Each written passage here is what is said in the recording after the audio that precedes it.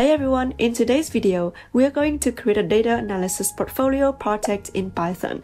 We'll be creating a real-world video dataset using YouTube API and analyze the channel statistics of any channels on YouTube. At the end of the video, you'll have built a unique portfolio project and be able to push this project to your current GitHub portfolio. I'm super excited, so let's get started. Firstly, let's create a new project folder. I'll just do it in my terminal. Let's call it YouTube API folder now we can go into this photo and you could also choose to create a Python virtual environment for this project, which is a very, very good practice. And I would really encourage you to do that. But this project is quite simple, so I'll skip that this time. Let's also initialize a Git repo for version control by running git init so that we can create some checkpoints during the project later on and avoid the situation where we make some terrible mistakes and we want to go back to the previous version. Next, we will launch Jupyter Lab and create a new notebook for our project. If you're wondering why I'm using Jupyter Lab instead of Jupyter Notebooks, please check out this previous video here. Now let's take a look at the YouTube API documentation and read the instructions on how to request data. So here it is, and here are the steps that we need to take in order to use the YouTube API. Since I've already done this, I'll show you exactly how to do it. Let's click on the Google Developers Console link if you have a Gmail account, you should have access to this website. I'm already logged in, so this is my Gmail account. Then create a new project by clicking on this button over here. You might see a different button if you don't have any project yet. I already have some projects, but let's just create a new project uh, just to show you how it works. Now, let's create a new project and let's choose a project name. Just let's say new project. then click on create. Next, we need to request an API key by clicking on the credentials section over here, then create credentials. Now we have the API key and we just need to copy this API key into our notebook. Let's quickly do that. As you can see, an API key is just a simple encrypted string that identifies an application. So it's used to associate API requests with an application for billing and quota and etc.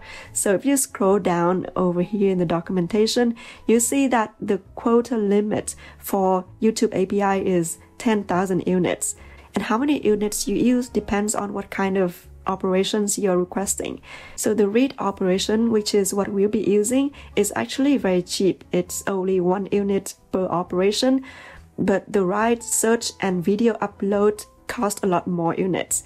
So this limit is to prevent that some applications will make too many requests to the API server and overwhelm the server and other people cannot request any data anymore.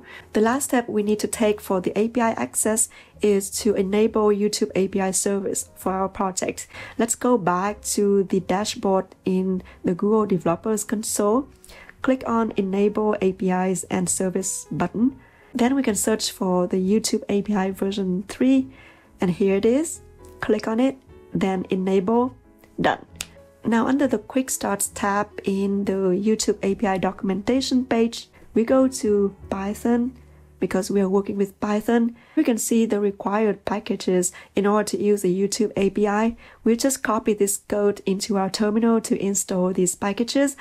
Um, the package we need to use is the Google API Python client package. I'll just copy it here because my MacBook also has Python 2 installed, so I'll need to use pip3 instead of pip.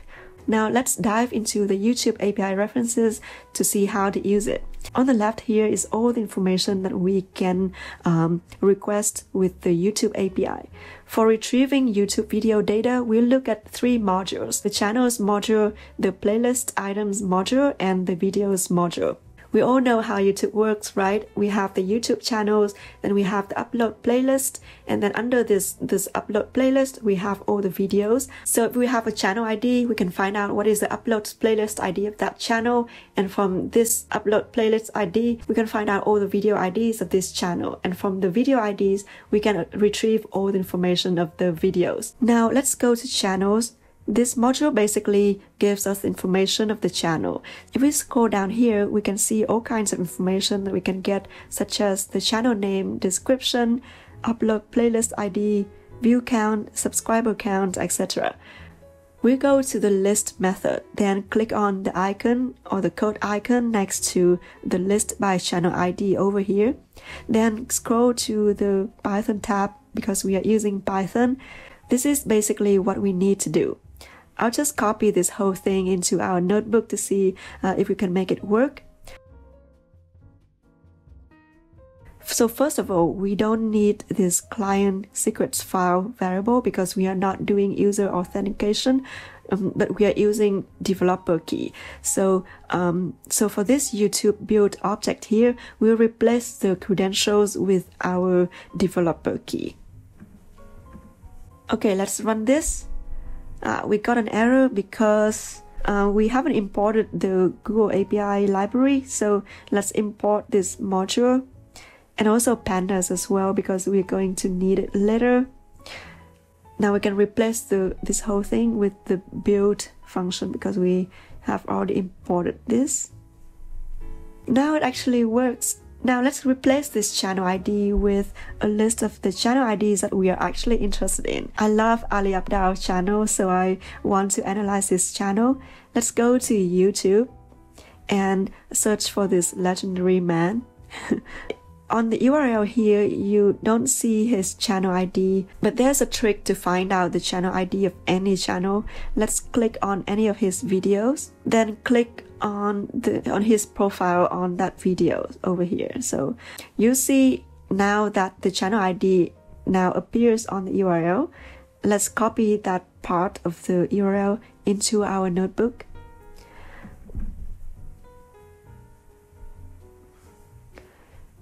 We then do a comma join and channel IDs. This is to concatenate all the channel IDs together with a comma.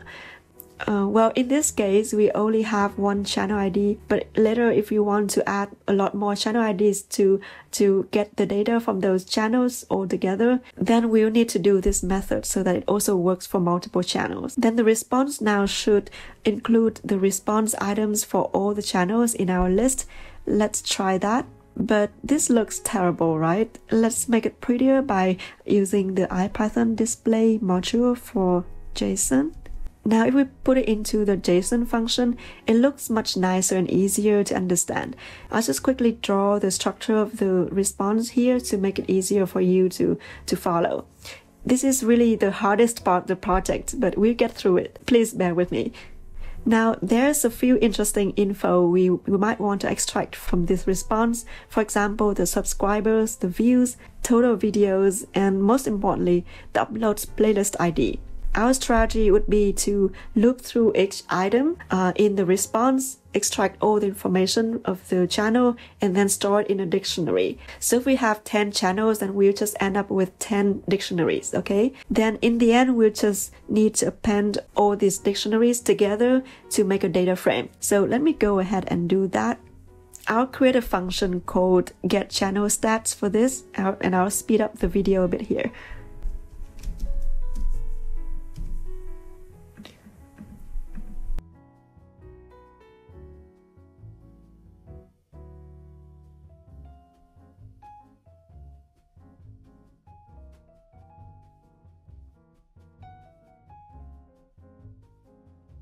Let's try out this function and print out the output.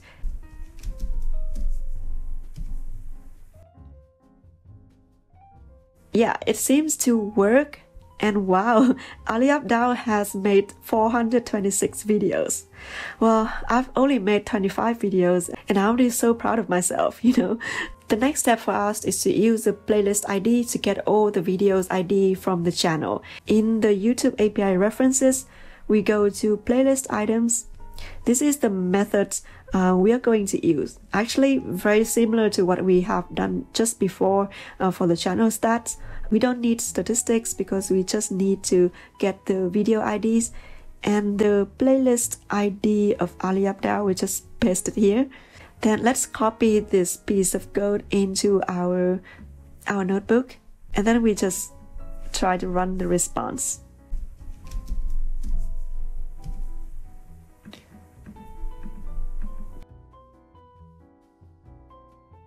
Okay, that seems to work. Now we'll just create an empty list um, to store all the video IDs. And then we'll just loop through all the items and append the video ID into this list. Let me just quickly do that.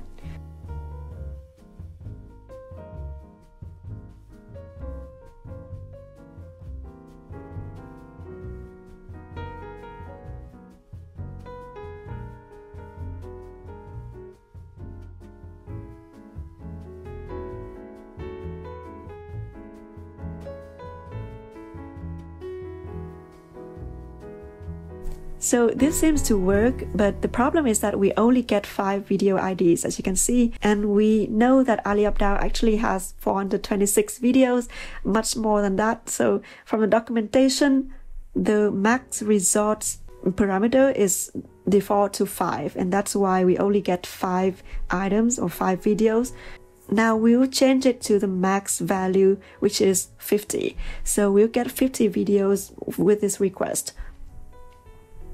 But 50 is still not enough. We want to get all the 400 videos. So we'll have to implement something with the next page token.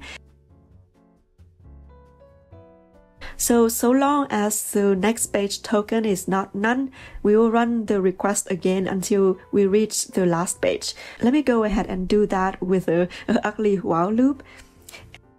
Now let's try out this function to see if everything works yeah, it seems to work because now we have 426 videos. Perfect.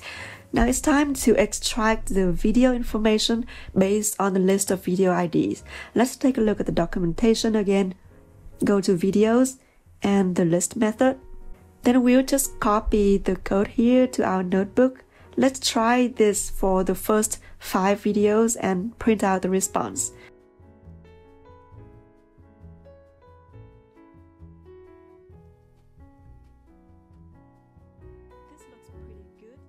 There are quite some interesting stuff here, so I'll make a dictionary of all the things that I want to extract and then create an empty dictionary to store all the video info.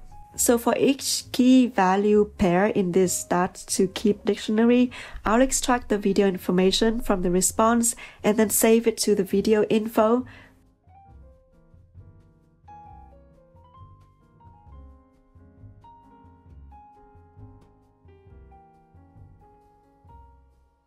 I've done this before, so I know that something will go wrong. It is because some videos will miss certain information. For example, some videos don't have any tags. Probably Ali just forgot to put the tags in. So to prevent getting this kind of error, we'll implement the try except here.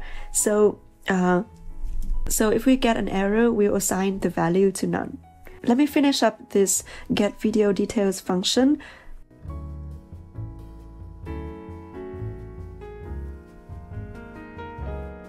Now let's try it out and yeah luckily it works and this is the final dataset from all our hard work I also made a bonus function here for you guys that also extracts the comments from the videos. I find it really funny to read through all the comments people made and more importantly we can do tons of analysis on this huge amount of text. I'll link the final code to this project in the description down below so you can check it out and run it yourself. Now that we have an amazing dataset to work with, there are actually a lot of ways to analyze it depending on your interests. What is the average views per video? And does the number of likes and comments really matter for views? Or does the title length also matter for views? And how long usually are his videos? And how many tags do his videos have? And which tags associate with most views, for example? And how often does he upload his videos on which days in the week. We can actually get all this information from this data set. But before we can do that, we will need to do some data pre-processing and also probably some feature engineering to enrich our data set. Firstly, let's take a look at the new values we can see that we don't really have the new values for all the columns except for the tags column but it's not super important, so let's ignore it for now. Secondly, let's check the data types. We can see that all columns are in object format at the moment, which doesn't make sense for some columns like view counts and like counts. So I'll go ahead and convert them to numeric or integer if you will. You can also do a for loop here, but um, in order to do it faster and in a cleaner way, I would recommend you to use an apply function here.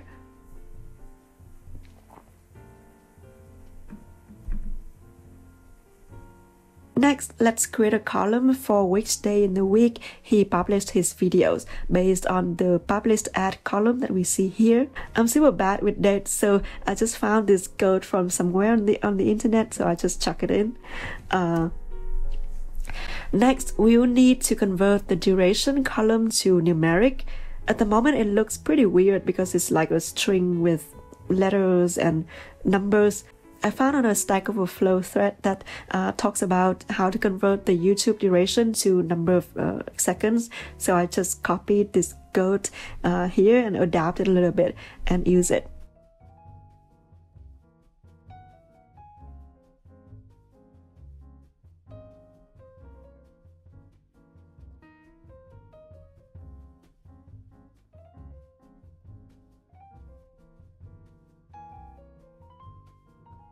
Problem solved. Then we'll add the number of tags for the video because we also want to analyze it later as well. So from the list of tags that we see on each row, we'll apply a lambda function on it to get the length of the list, which is basically the number of tags. Ah, we got an error here because yeah because we we have some empty tags in this column so so let's make a little if else like this so that when the tag is none we will assign zero to it now let's print out the data set to see if everything works that looks pretty good right now let's move on to the most fun part which is data analysis First of all, let's see what Ali's best and worst performing videos. I'm very curious. Let's import Seaborn and Matplotlib packages. Now we can make a bar chart for the view count, sorting the videos from the highest views to the lowest views.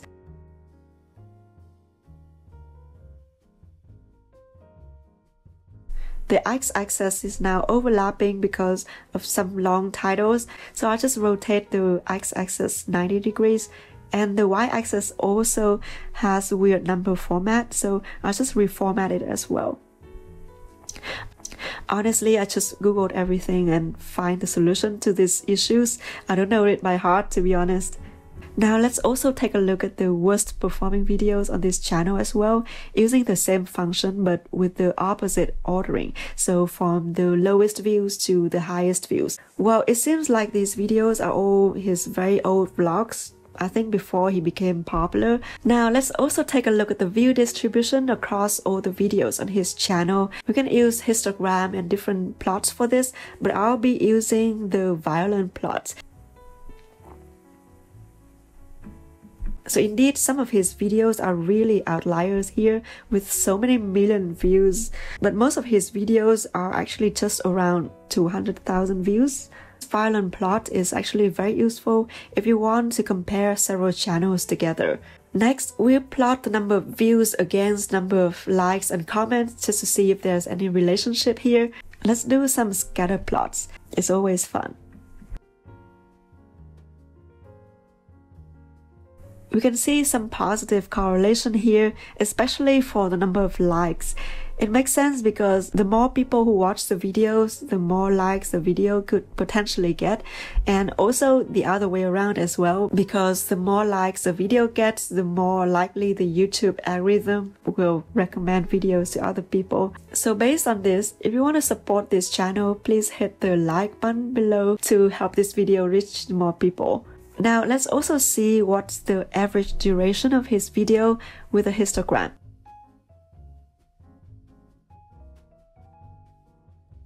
I think most of his videos are around 10 to 15 minutes. The longest video is 3 hours or so. Quite interesting. From the video titles, we can also create a word cloud to see which words occur most often in his video titles. There's a Python package for this called word cloud. I'll probably explain some more NLP concepts in another video. For now, let's take a look at the word cloud. Wow, this looks so Ali Abdaal. We see the most common words here are Cambridge, medical student, live, vlog, and study. And the last thing that I want to see is which days in the week he usually uploads his video. We can easily make a bar chart for this, but be aware that we will have to order the weekdays manually because Python doesn't know which days come first. That's unexpectedly stupid, right? So I just copy what I did here and we can see in this bar chart that he actually uploads his videos mostly three times a week and on Monday, Wednesday, and Sunday. Now that we have done quite some analysis already, the final touch to our project before we share it with other people or upload it to GitHub is to clean up the notebook. So let's remove everything that is redundant and also comment your code. That is also really important. It's also a very good practice to move all the functions you made to a separate Python file and then later import this Python file to our notebook. This would make our notebook much cleaner and if you have time you can also go into each function and write some documentation for it just to help other people uh, know what the function does and uh, can easily reuse your code later on. Finally, the last thing we want to do is to push this project to our current GitHub portfolio. Let's go to the terminal and run git add this would add all the files in our folder to Git. And then we can commit this change by typing git commit and then say something like added files or something, anything you want. Then we go to the GitHub website to create a new remote repo. This is how I can share this project with other people on GitHub. Let's call this repo something like YouTube API analysis.